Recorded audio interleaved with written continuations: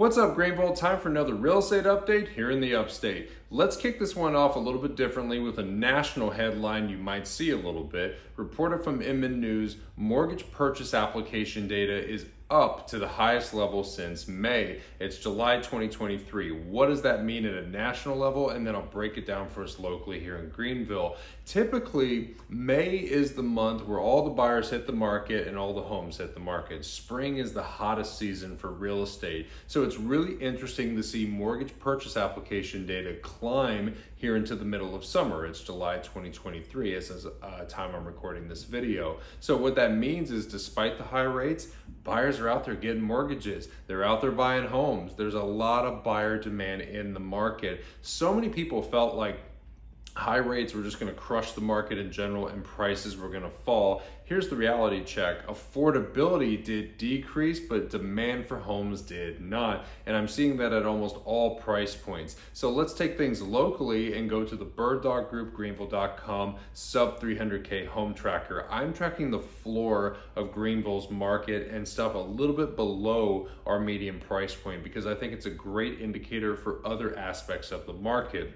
So we're actually at 135 units this month. That's actually a little bit of an increase from last month, which is great if you're trying to buy a home for less than 300,000. This month, you've gotten a little more choice than you did in the months prior. This is actually the first increase I've seen since November of last year. So generally a good thing for buyers. But here's the thing I want to set a realistic expectation about. If we do not see these numbers trend back into the 300s or 400s in December, that's the slow time of the year, it's going to mean something I've been talking about for a while now, which is a rising floor here in Greenville. Basically, we may continue to see the floor of the Greenville market notch its way up as people relocate here, as mortgage demand continues to stay strong, and as a lot of sellers are staying put, that's really the type of transaction that has reduced in this market with the higher rates. You factor in all those variables, it just means the cheaper end of the spectrum, which you can buy a home, is gonna fade away. So I strongly encourage my buyers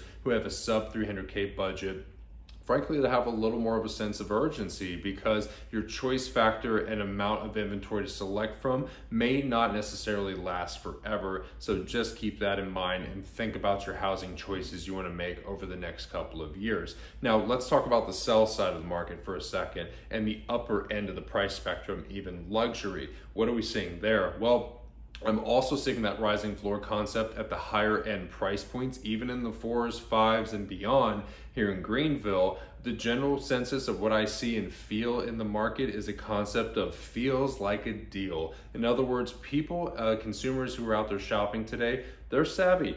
They're smart. They have data at their fingertips. They have AVMs, that's automated valuation models, at their fingertips. Zestimates, Redfin estimates, you name it. So when they look at a home, when they look at those automated valuation numbers, they're going to ask themselves an initial question Does this feel like a good deal? When you've got higher rates this year than we have had in years past, people are thinking about the affordability factor and they're pulling back a little bit, especially at the upper end of the market.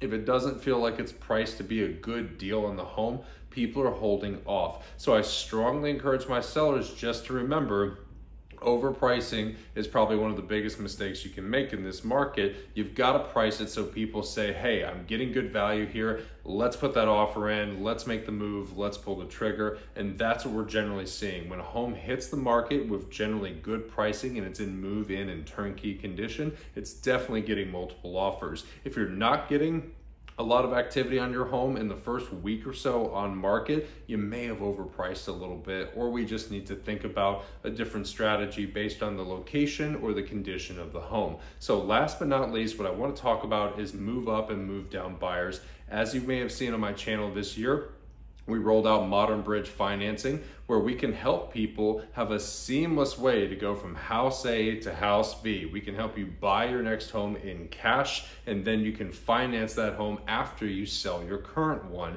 So if you're feeling stuck in your current home because it's so hard to be a buyer right now because of high rates and high demand simultaneously, reach out to us here at the Bird Dog Group we have new and modern solutions and we can help you in a whole lot of different ways. So that's going to cap off my market report for this month.